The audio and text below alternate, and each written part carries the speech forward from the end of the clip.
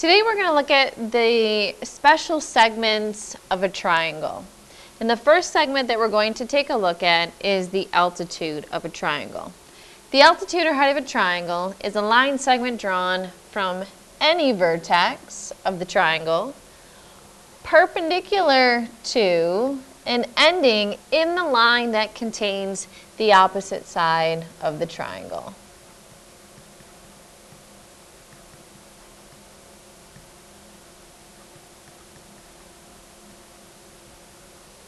So we look at the first triangle, which is acute.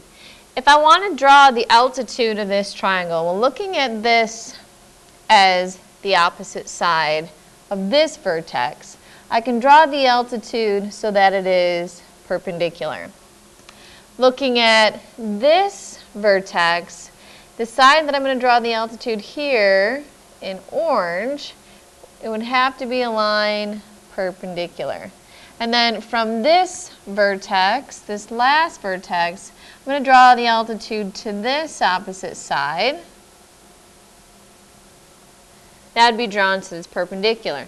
So as you can see, the three altitudes of a triangle do intersect. And in our exploration, we will see um, where, depending on the type of triangle, acute, right, obtuse, where this point of intersection is, and also we're going to learn the names of those points. But in looking at each one of these triangles, drawing the altitude from this vertex to this side, the height would be right here. So looking at this side, the altitude would be from this vertex, and I want to draw it straight down but in order to have it drawn perpendicular, I need to extend this side. So drawing it straight down, this would be the altitude to this side here of the obtuse triangle. In the right triangle, since we have a right angle, that means that these two sides are perpendicular. So this would be the height if I'm looking at this side here as the base.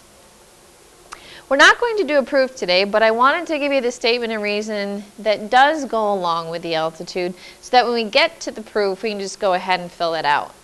So it's given that B is an altitude, or BD. If BD is an altitude, then that means it's perpendicular to the side that it's drawn to, so it'd be perpendicular to AC. So given that it's an altitude, I can write BD is perpendicular to AC.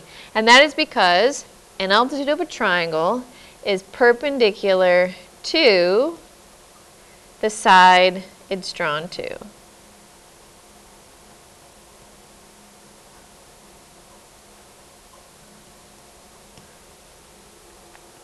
And now we're going to take a look at the construction of the altitude.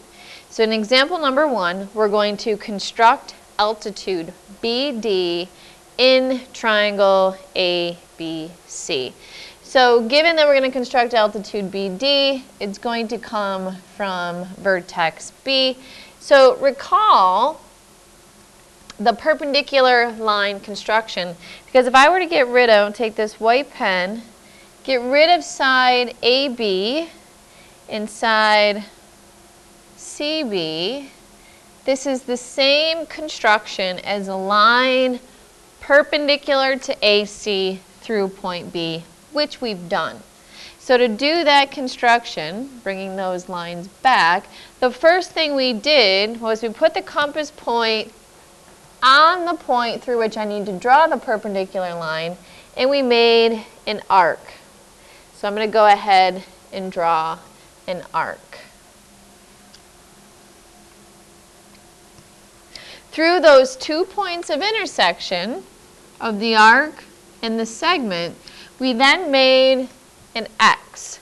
Now since point B is on the top, I'm going to put the X below the segment. So placing my compass at this point, I'm going to slide it in, make an arc with the same radius. I'm going to move it over to this point of intersection, and I'm going to draw another arc. And now through these two points, right here, and right here. I'm going to use my straight edge and draw a straight line. Well, actually, I'll use the line tool.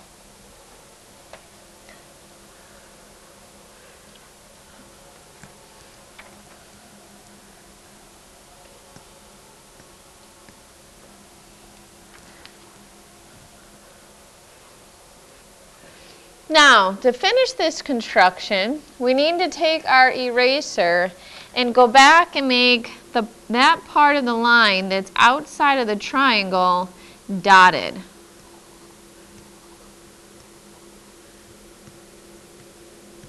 And we do that because in altitude, the altitude of the triangle, which I was constructing BD, so I need to label this point D, is only that part of the segment that's within the triangle.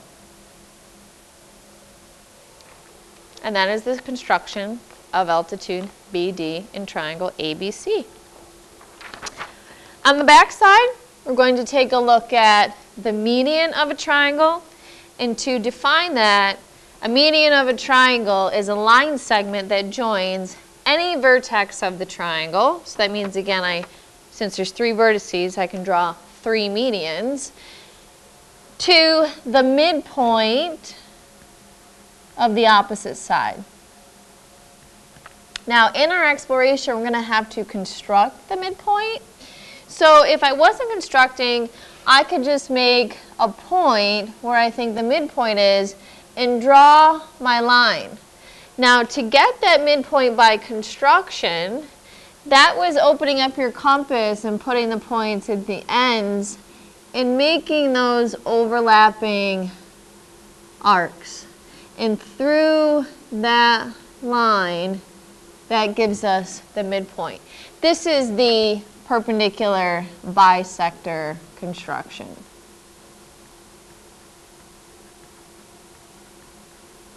So to get the midpoint, we want to do the perpendicular bisector construction.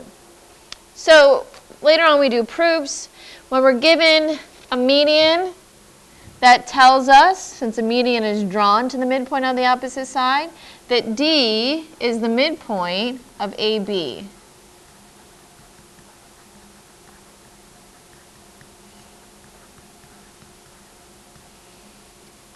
So AD would be congruent to BD. And that is because a median of a triangle is drawn to the midpoint of the opposite side.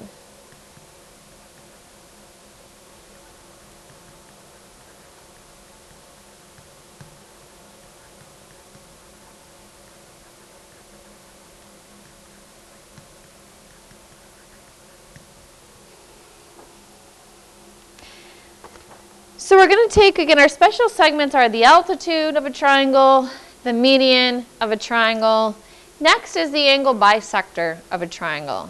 Just as an angle bisector divides an angle into two congruent angles, an angle bisector of a triangle also divides an angle into two congruent angles.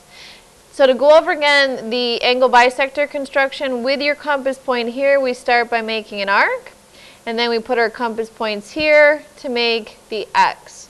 So the angle bisector goes through that point of intersection.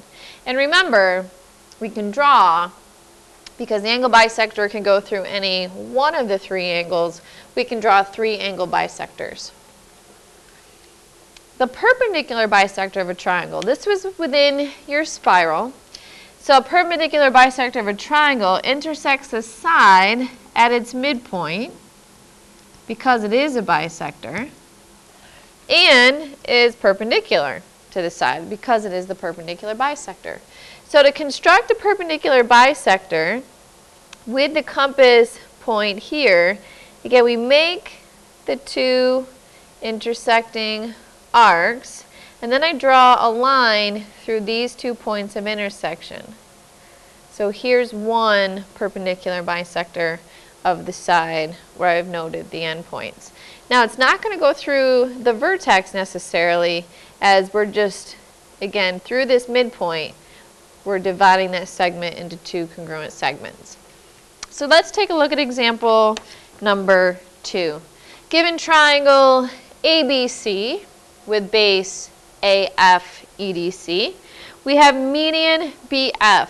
So let's highlight the median BF and write down what it does.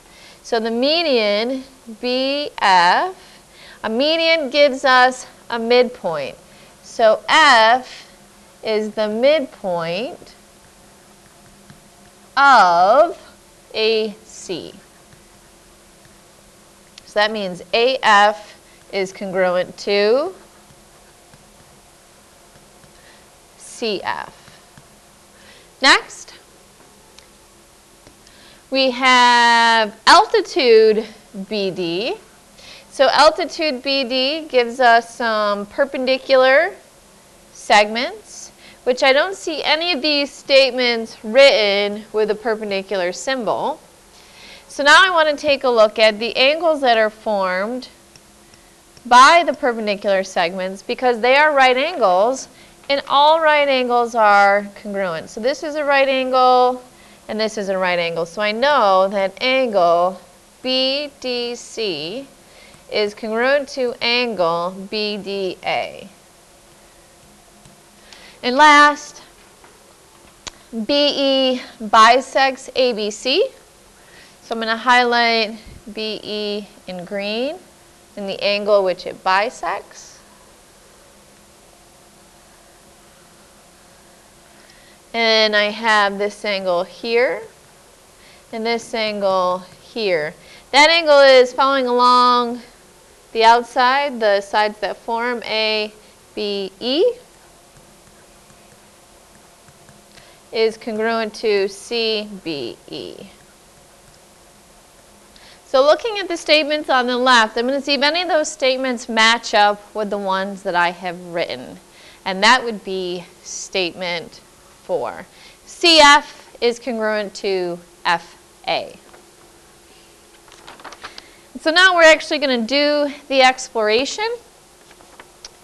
So if you would like to do the exploration to, again, discover these relationships we're about to fill in within the table, please see me and I'll give you the packet.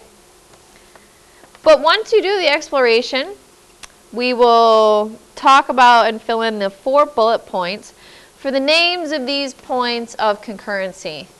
Now, concurrent lines are three or more lines that intersect at the same point. So each of the special segments that we've learned or talked about above in the notes are concurrent at a point with special characteristics in our triangle. So the point of concurrency for our perpendicular bisectors is called the circumcenter.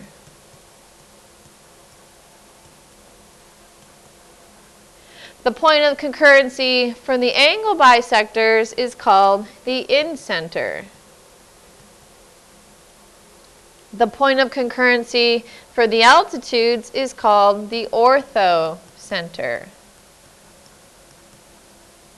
And the point of concurrency for the three medians is called the centroid. Now, two out of the four share certain relationships, and the other two out of the four share a certain relationship.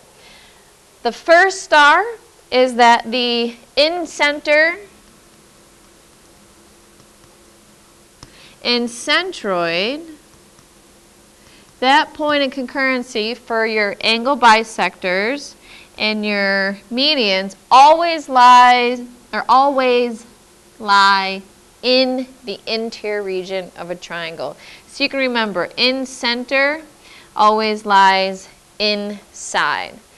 Below both the circumcenter and orthocenter, they share a relationship both of those points are inside the triangle when the triangle is acute. They're both outside of the triangle or in the exterior region when the triangle is obtuse. And they lie on the triangle when the triangle is right.